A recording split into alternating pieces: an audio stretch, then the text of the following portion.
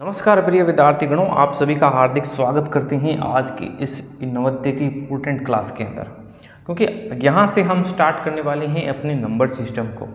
इससे पहले हमने जो है जोड़ घटाव गुणा भाग के रूप में थोड़ी बहुत वीडियोस को देखा है।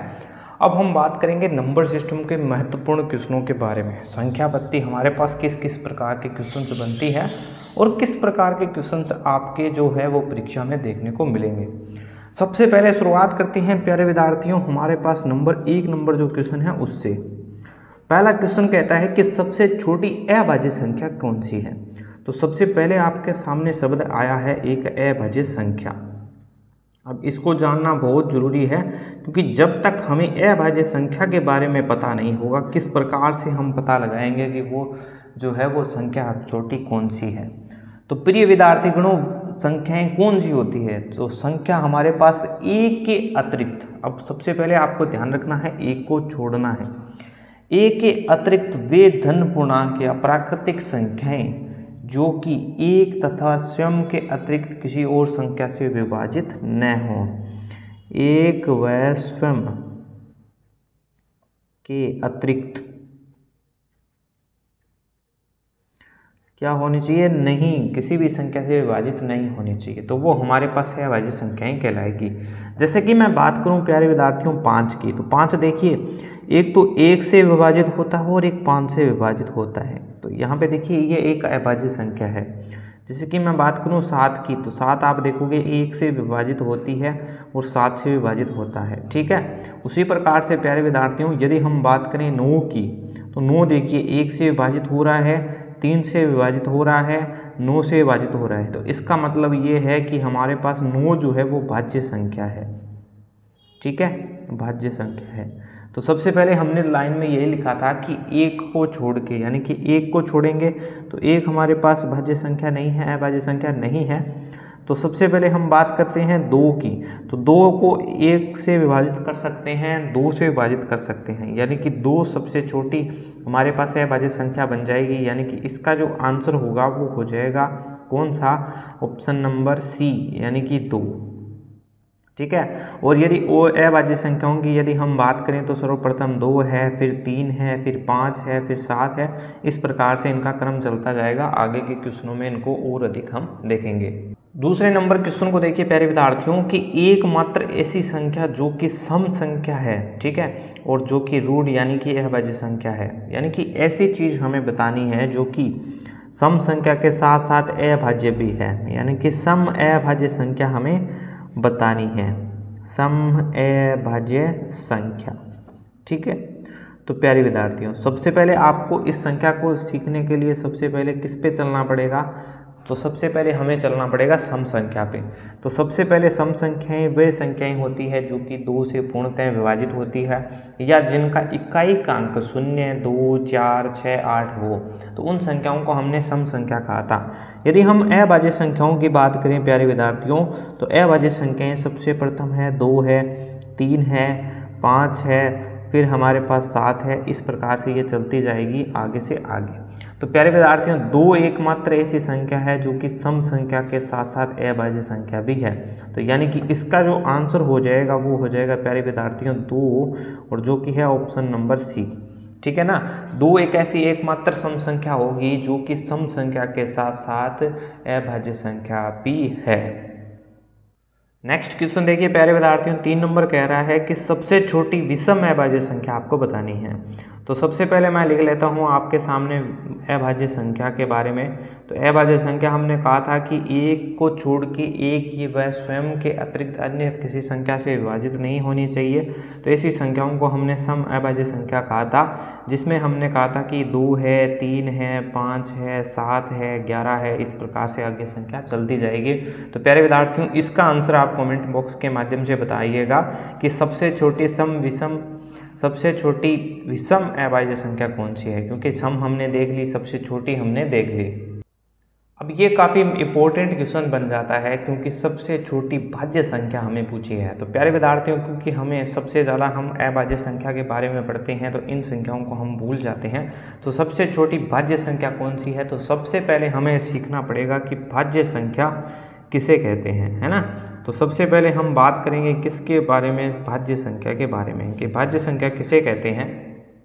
अब शर्त देखिए क्या है कि ये एक से बड़ी वे प्राकृतिक संख्याएँ हैं, जो कि स्वयं तथा एक के अतिरिक्त कम से कम एक और संख्या से विभाजित हो सकती है। कहने का तात्पर्य ये है कि प्यारे विद्यार्थियों, हम अभाज्य संख्याएँ इसमें सम्मिलित नहीं करते हैं और एक से बड़ी होनी चाहिए। जैसे कि हम बात करें सबसे पहले तो आप देखोगे चार के बारे में। चार। अब चार में क्या है तो आप देखोगे तो ये तो एक से विभाजित हो रही है और स्वयं से विभाजित होती है। हो गई? इसके अलावा ये संख्या दो से भी विभाजित होती है। तो ये भाज्य संख्या हो गई। इसके बाद में बात करें तो पाँच की। तो पाँच हमारे पास अभाज्य संख्या है। तो इसके बाद में आप देखोगे तो छः है। यानी कि यहाँ से कम से कम का है, अधिक बार कितनी भी हो सकती है। यानी कि ये एक से विभाजित होती है, दो से होती है, तीन से होती है और इसी प्रकार छः से भी विभाजित होती है। प्यारे विद्यार्थियों नेक्स्ट संख्या की बात करें तो हमारे पास है नौ, फिर हमारे बात बात करें तो पंद्रह। यानी कि अभाज्य संख्याएँ अगर हम बात करते थे तो उन संख्याओं को यदि हम छोड़ दें तो भाज्य संख्याएँ हमें प्राप्त होती है, जिनमें हमें ज़ीरो और एक को नहीं लेना है, बाकी की सभी संख्याएँ जो कि अभाज्य नहीं है, वो भाज्य संख्याएँ बन जाएगी। तो क्वेश्चन कह रहा है कि सबसे छोटी भाज्य संख्या कौन सी है? तो आप देखोगे शुरुआत ही चार से हो रही है। इसका मतलब है कि चार हमारे पास सबसे छोटी भाज्य संख्या होगी। क्योंकि हमने एक को छोड़ दिया है, एक को आपको न तो भाज्य संख्या के रूप में लेंगे और न अभाज्य संख्या के रूप में। दो हमारे पास एक अभाज्य संख्या है, इसी प्रकार तीन भी हमारे पास एक अभाज्य संख्या है। तो इन चीज़ों का आपको थोड़ा बहुत ध्यान रखना है, जिससे कि आपका क्वेश्चन आसानी से हल हो जाएगा। ठीक है? चलिए, बढ़ते हैं अपने नेक्स्ट क्वेश्चन की ओर। तो प्यारे विद्यार्थियों नेक्स्ट क्वेश्चन क्या कहता है? सबसे छोटी विषम भाज्य संख्या कौन सी है? तो यहाँ पे देखिए, विषम लगाया गया है तो इसका मतलब क्या है? विषम संख्या होनी चाहिए। और विषम संख्या कौन सी होती है? जो कि दो से विभाजित न हो। जिनमें हमारे पास होगा एक, होगा तीन, होगा पाँच, होगा सात, होगा नौ, होगा, इसी प्रकार से चलता जाएगा। तो सबसे पहले ऑप्शंस की तरफ़ देखें तो तीन, पाँच, सात, नौ, सभी की सभी क्या है? एक हमारे पास विषम संख्याएँ हैं। यदि हम तीन की बात करें तो ये एक अभाज्य संख्या है। जैसे कि हम बात करें अभाज्य संख्याओं की तो अभाज्य संख्याएँ हमारे पास प्यारे विद्यार्थियों होती है। दो है, तीन है, पाँच है, सात है, ग्यारह है। तो यहाँ दो नहीं है। तीन हमारे पास ऑप्शन में आ रही है, पाँच भी ऑप्शन में आ रही है, सात भी ऑप्शन में आ रही है, इसके अलावा एक नौ बच गई। तो हमने भाज्य संख्याओं के बारे में बात की थी, प्यारे विद्यार्थियों। तो सबसे छोटी भाज्य संख्या कौन सी? चार। उससे बड़ी फिर छः फिर उससे बड़ी नौ, फिर उससे बड़ी पंद्रह। तो प्यारे विद्यार्थियों, ये हमारे पास एक भाज्य संख्या हो जाएगी। इसके बाद में अगर देखें तो चौदह भी हमारे पास एक भाज्य संख्या ही है, बारह भी है। इस प्रकार से और अधिक संख्याएँ होती है। लेकिन विषम की शुरुआत हमें हमारे पास नौ से हो रही है है ना? तो हमारे पास विषम जो भाज्य संख्या है, वो नौ बन जाएगी। ठीक है? क्योंकि देखिए कौन कौन से अंक आते हैं? जैसे कि तीन आता है, वो भी हमारे पास क्या है? ए बाजे है, पाँच है, वो भी ए बाजे है, सात है, वो भी ए बाजे इसके बाद में नौ आएगा। तो प्रिय विद्यार्थी गणों नौ हमारे पास एक भाज्य संख्या है, जो कि विषम भाज्य है। ठीक है? तो इस क्वेश्चन का आंसर हो गया अपने पास डी ऑप्शन कौन सा हो गया? डी ऑप्शन यानी कि नौ। प्यारे विद्यार्थियों, ये काफ़ी महत्वपूर्ण क्वेश्चन है, क्योंकि अभाज्य संख्याओं से हर बार क्वेश्चंस देखने को मिलते हैं तो आशा करते हैं कि इस बार भी आपको इस प्रकार से देखने को मिलेगा। अब देखिए, एक से लेके सौ तक कुल कितनी अभाज्य संख्याएँ हैं? जैसे कि आप ऑप्शन देखोगे, नौ है, पंद्रह है, चौदह है या पच्चीस है। तो प्यारे विद्यार्थियों, सबसे पहले अगर हम शुरुआत करें तो पहले हमारे पास दो अभाज्य है। किसकी बात कर रहे हैं हम? अभाज्य की। ठीक है? अभाज्य की। दो है, उसके बाद में हमारे पास तीन है, पाँच है, सात है, ग्यारह है। यहाँ पे देखिए, एक से लेकर दस के बीच में आ गई है। अब यहाँ पे आएगी ग्यारह आएगी, अगली संख्या तेरह है, फिर सत्रह है, फिर उन्नीस है हमारे पास। फिर हमारे पास, प्यारे विद्यार्थियों, तेईस आ रही है। फिर हमारे पास उनतीस हो जाएगी। फिर प्यारे विद्यार्थियों, आपके सामने इकतीस हो जाएगी, सैंतीस हो जाएगी। इकतालीस हो जाएगी तिरयालीस हो जाएगी। ठीक है?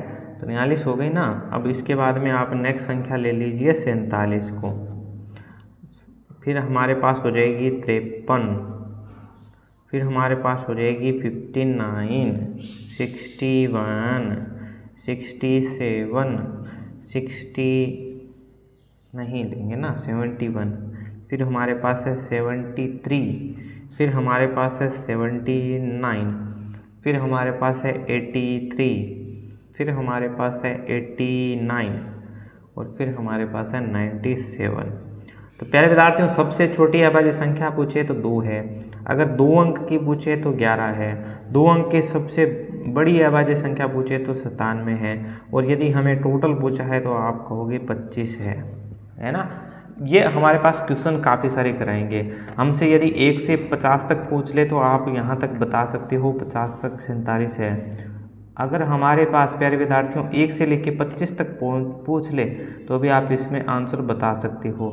इसी प्रकार अलग अलग हमसे पूछ ले तो प्यारे विद्यार्थियों आप आसानी से बता सकते हो। क्वेश्चन हमारे पास था कि एक से लेकर सौ तक कुल कितनी अवजय संख्याएँ हैं? तो इसका आंसर हो जाएगा डी ऑप्शन यानी कि पच्चीस। ठीक है? क्वेश्चन के अनुसार हम चलेंगे।